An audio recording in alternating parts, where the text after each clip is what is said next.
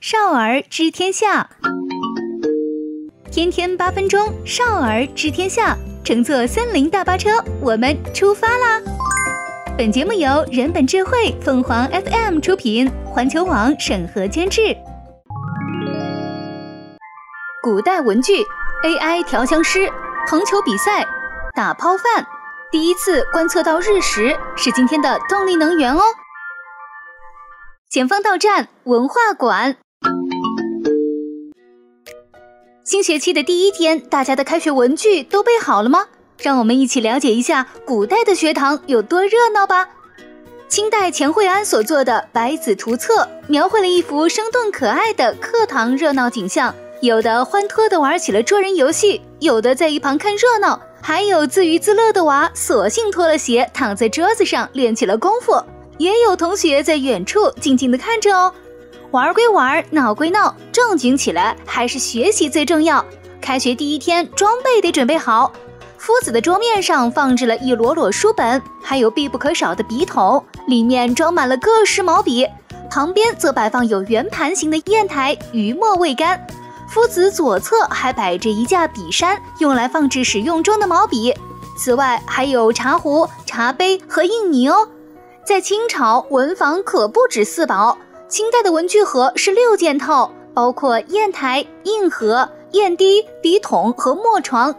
印盒又称印池，是盛放印泥的用具；砚滴储存水，供研墨之用；而墨盒是用来盛放墨汁的物品，比砚台磨墨更为方便哦。开学第一天，你都带了哪些文具呢？你也可以到微信公众号“熊猫天天讲故事”回复“古代学堂”，仔细看看这幅画哦。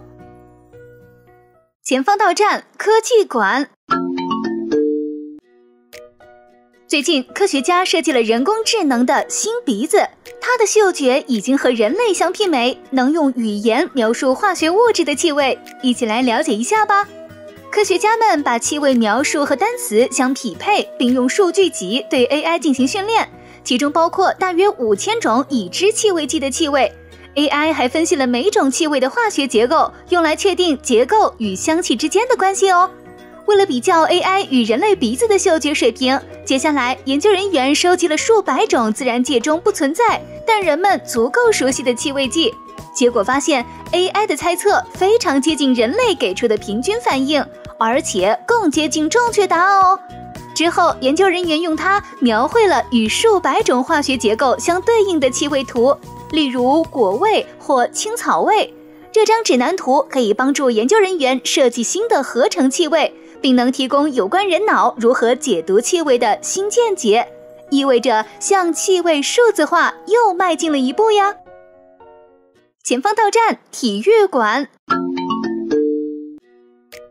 在今年亚运会上，我们即将观赏到藤球比赛，这是一项怎样的运动呢？藤球是一种独特的古老体育运动项目，在东南亚地区广泛流行。在一九九零年举办的北京亚运会上，成为正式比赛项目。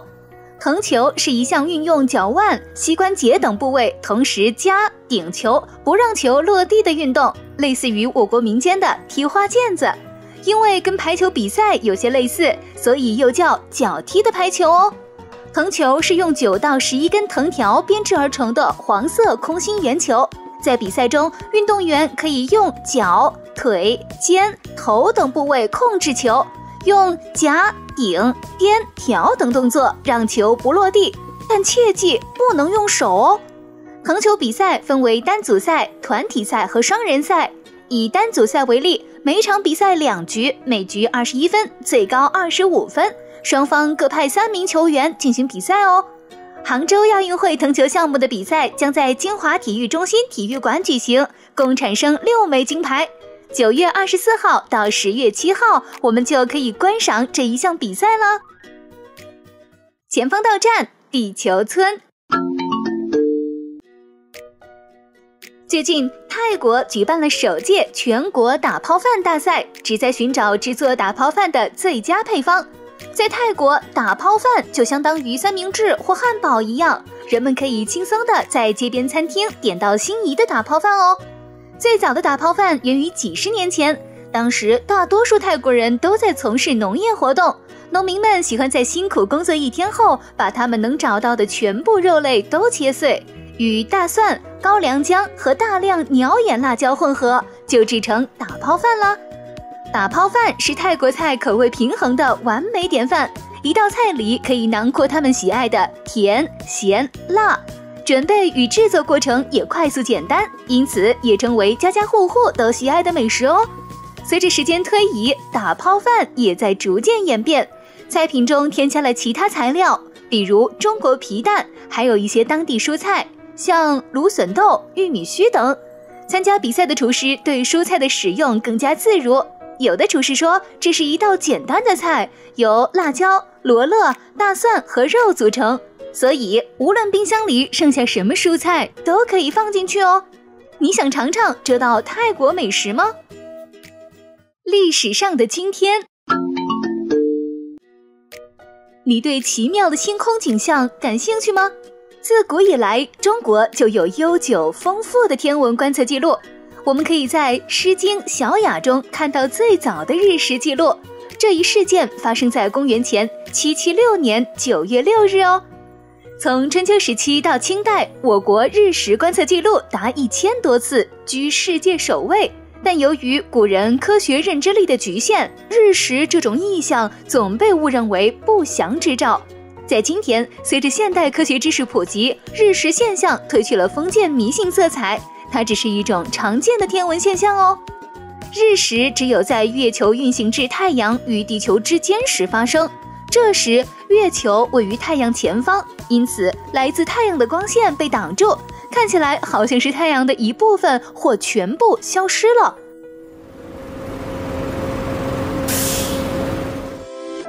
今天的天下之旅就到这里啦，你也可以把新鲜事儿分享给小伙伴和家人。如果你对某件事情感兴趣或者有疑问，可以关注公众号“熊猫天天讲故事”进行留言。我们会回复你哦，我们明天再见呀。